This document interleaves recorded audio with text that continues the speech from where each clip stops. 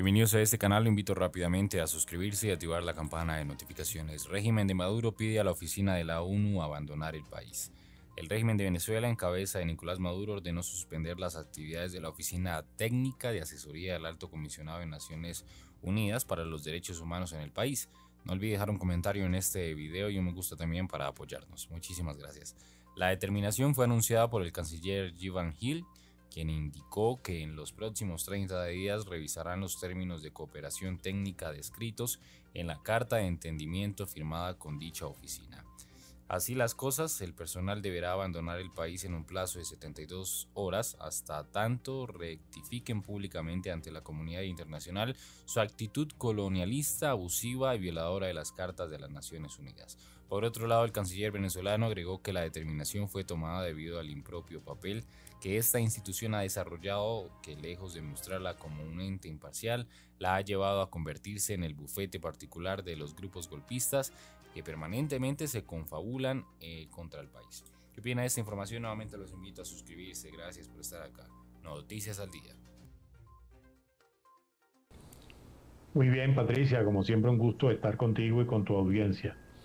Orlando, eh, ¿cómo estás viendo la situación en Venezuela? ¿no? Estamos en, eh, hoy es martes de carnaval, eh, yo siempre digo que después de un feriado como este, en Venezuela vienen cosas tremendas, lo que ha pasado con Rocío San Miguel, que venimos, por cierto, de, comentarlo en el segmento anterior, el régimen cada vez está como más desprovisto de vergüenza, diría yo, yo no sé cómo llamarlo, más osado, yo creo que esa es la palabra, que ya no le importa nada, de tener a Rocío San Miguel que tiene, está por decirlo de alguna manera, a nivel internacional, eh, hacerlo de esta manera, acusarla de algo eh, contra lo que ella ha estado siempre, que es un golpe de Estado. Es decir, eh, ellos están arremetiendo muy, muy fuerte y como dando muestras del poder que tienen y de lo que son capaces de hacer, hasta dónde son capaces de llegar. Y por el otro lado, lo que se ve es una cantidad de candidatos haciéndole el juego al régimen que son candidatos de la oposición.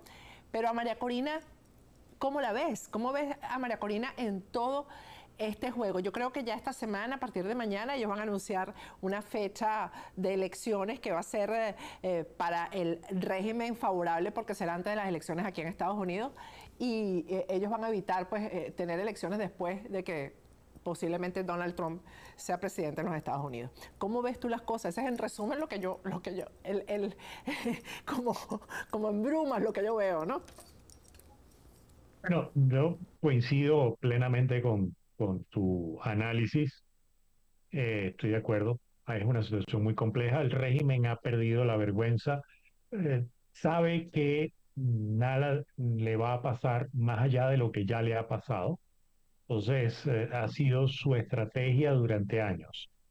aflojan un poco, liberan tres, cuatro, cinco presos políticos, firman un acuerdo, después retroceden, vuelven a radicalizarse, vuelven a ceder un poco y en ese juego están. Ah, lo de Rocío San Miguel no tiene nombre, no tiene nombre que la hayan detenido a ella, además en la forma como lo hicieron y haber detenido a la hija, al ex esposo, a los hermanos, eso no tiene ningún nombre, sino, bueno, la actuación típica y un régimen que eh, no tiene nada que perder sino el poder. Entonces hacen lo que tengan que hacer al costo que sea para sostener el poder. En ese escenario, ¿cómo veo a María Corina? Bueno, en una situación muy complicada. Eh, nos guste o no nos guste, estemos a favor, estemos en contra, la oposición logró, la oposición democrática logró hacer unas primarias este, con un gran esfuerzo con muchas limitaciones y que ganó de manera abrumadora y sin lugar a dudas María Corina Machado. Ella es la candidata de la oposición, pero el régimen, por supuesto, la inhabilita y es claro que la inhabilitación es absolutamente inconstitucional, este, aunque haya sido ratificada por ese Tribunal Supremo de Justicia espurio. Pero esa es la situación quién tiene el poder, quién controla las armas, quién controla los ingresos del país, es el régimen. Por lo tanto, María Corina está en una situación realmente complicada porque ella es la candidata sin ningún lugar a dudas. Ella tiene que seguir ejerciendo su función como candidata, pero y la vía, y la vía que, que debe seguir la oposición, no le queda otra, es la electoral. Así que es una situación muy complicada y como tú bien dices, el régimen va a anunciar la fecha que más le convenga a ellos, así que eh, habrá que ver, no la van a dejar competir, así que va a ser un escenario bien complejo que la oposición democrática va a tener que resolver. ¿Qué le recomendarías tú a María Corina Machado eh, en este momento? ¿no? Porque no dejarla competir y que las cosas avancen como que si no hubiera pasado nada, es como hacerla desaparecer, ¿no? Eh, es, como, es como simplemente que ella se diluya en eh, la decisión que tomó de llegar hasta el final con esto. Claro, a ver, Parte del éxito que ha tenido María Corina Machado en los últimos tiempos ha sido justamente que ha sido una persona con una posición eh, constante a lo largo de los años. Nos guste, no nos guste, estemos a favor, estemos en contra. Ella ha sido coherente en eso. En lo particular, hay varias posiciones de ella que a mí no, no me agradan, pero ha sido coherente y eso se respeta. Uno. Dos, me parece que tiene que seguir siendo coherente eh, y tiene que seguir dando la batalla hasta el último minuto. Tres, debería evidentemente comenzar a abrir el abanico y comenzar a tender puentes y comenzar a preparar un plan B. No te puedes quedar, esa frase que ella usa hasta el final, yo creo que le va a pesar y le va a ser duro porque ella no va a poder llegar hasta el final. Ella tiene que ceder el paso en algún momento probablemente este porque no va a haber forma que el régimen cambie de opinión, así que va a tener que la oposición democrática nombrar a alguien que sustituya a María Corina y evidentemente María Corina Machado tiene una voz este, muy poderosa y de mucho peso en esa decisión y debe ser no solo escuchada, sino respetada, este, la decisión que ella tome y debería ser respaldada por toda la oposición sin debate, sin este, eh, ninguneo de ningún tipo.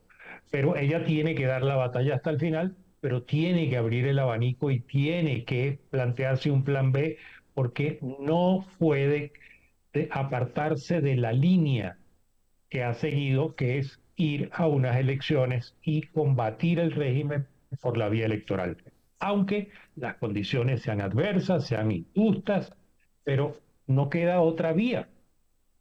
Eh, Orlando, yo estaba escuchando, por cierto, ahorita no tengo el nombre a mano, pero es alguien del partido Lápiz, eh, que decía en un programa de, radio, de televisión, en un podcast, que eh, esta trampa se la montó a María Corina la propia oposición en Barbados, porque el documento que se firmó en Barbados fue lo que la colocó contra la pared. Eh, y eh, eh, ese, documento, ¿quién lo firma? Lo firma Gerardo Blay y ella avaló a Gerardo Blay en todo esto. ¿Tú qué piensas de eso? Porque realmente uno le, yo no hubiera firmado eso jamás. Yo si yo hubiera sido representante de la oposición, ahí se veía la trampa en cada uno de los artículos. Mira, yo ahí difiero. Uno, sigo considerando a Gerardo Blay una persona muy seria.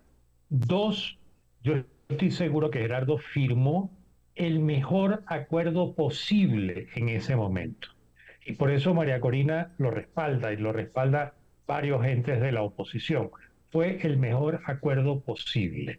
Se sabía de antemano que el régimen iba a violarlo. Sí, claro que se sabía, pero de nueva vuelta. Vamos a esperar que los Marines lleguen. Eso no va a suceder nunca, ni siquiera que el señor Donald Trump regrese a eh, la presidencia de los Estados Unidos. Eh, la comunidad internacional, su campo de acción, su nivel de acción, este, su alcance es absolutamente mínimo e irrisorio. Está más que demostrado, lo de Rocío San Miguel es una gota más que derrama ese vaso. Este, ¿Tiene la oposición las armas para dar un golpe de Estado este, o iniciar una guerra? No las tiene tiene el liderazgo de la opinión pública lo tiene muy fraccionado, debería trabajar más sobre eso. Así que la única vía que queda, con todas las adversidades, es la vía electoral. Y pongo un ejemplo.